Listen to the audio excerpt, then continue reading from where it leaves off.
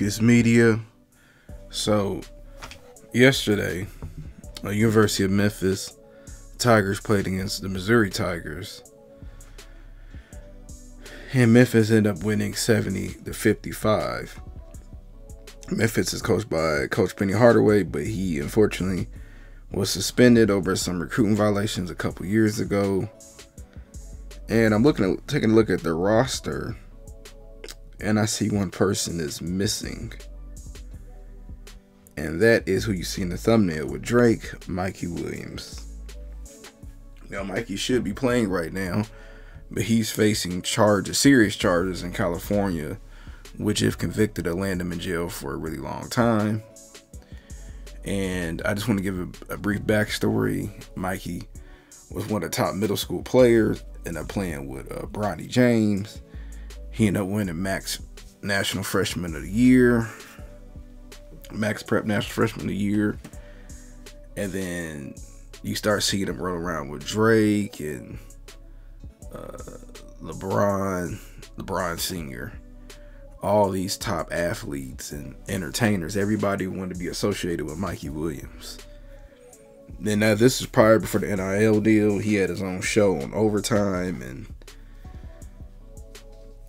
they was just following his whole high school career, at least for the first two years, I believe.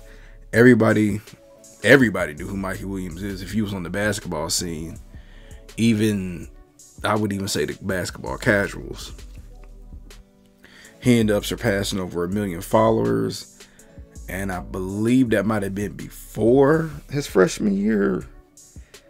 Either that was around that time. And I know now he has a couple million followers on on his various social media platforms.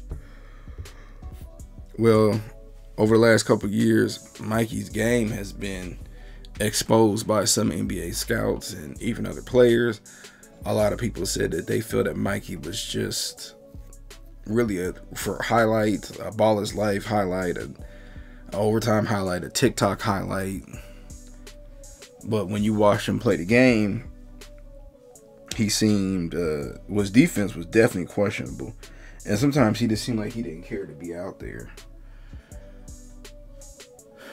Now, he went from being the number one player in his class to number three. Then he slid all the way down to outside of the top 50. I believe he fell to 77 according to ESPN by the big by the end of his senior year. And he ended up he ended up getting an endorsement deal with Puma, and he was making millions off the court because you know he they couldn't be paid. He wasn't a pro yet. Well, over May, I think it was May. March or May. I think it was March. March or May. March, April, May, winter months. My bad, y'all. But he ended up getting caught with those charges for allegedly uh, shooting at a car and bullet holes in it. Some unwanted guests showed up at his $1.2 million mansion. And it's unfortunate because Mikey Williams may never play basketball again because he can't play at University of Michigan or University of Memphis until this is over. Now, what happened? Do we blame the parents? Do we blame the influencers, the people that was around him? Because it's kind of hard to it's kind of hard not to get wrapped up in the fame like that. You know, I have and I'm sure some of you guys or even you might even if you don't have kids, you got nieces, nephews, uh, cousins who are even if it's not sports, they're treated number one in whatever field they're in. And it, sometimes a lot of that can go to your head. Now, there has been a thing out too long ago, like are the are we giving these kids too much exposure? And I used to say, you know, it ain't fair, and let them kids get all the exposure they can. But now I'm starting to wonder because we may never see Mikey Williams play on the basketball court again and just several couple years ago, everybody figured he would be a top five pick in NBA draft. But he's living like an NBA player. Multiple cars, driving around in Lamborghinis, standing next to Rolls Royces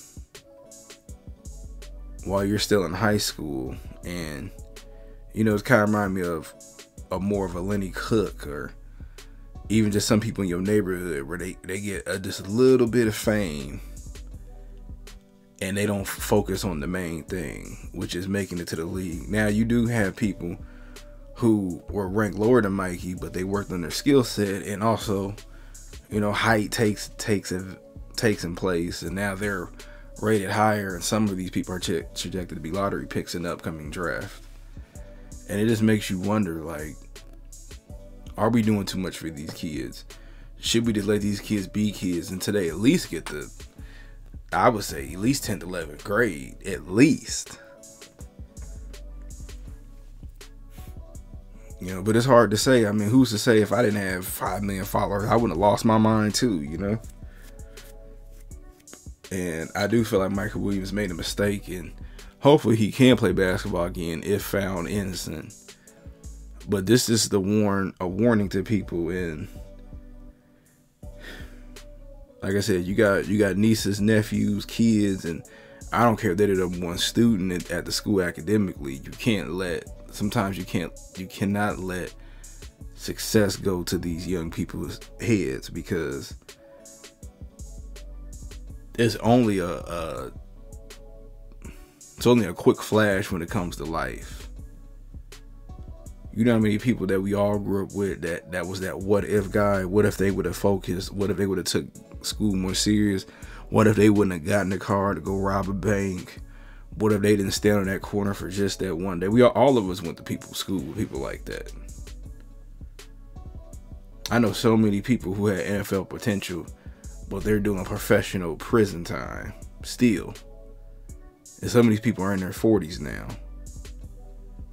And you know, and they just had a little bit, they just had home local local town fame. And I can keep going on and on about this. Stuff like this truly breaks my heart because we should be seeing Michael Williams at Memphis right now. If not start coming off the bench, but I believe that he he still had a small chance of making it to the NBA because those rankings don't mean anything when you go to college. And when you go from college to the pros, they don't mean anything. So Mikey Williams had a clean, fresh start. But that's just my opinion. Do y'all think that these kids are getting too much fame too fast?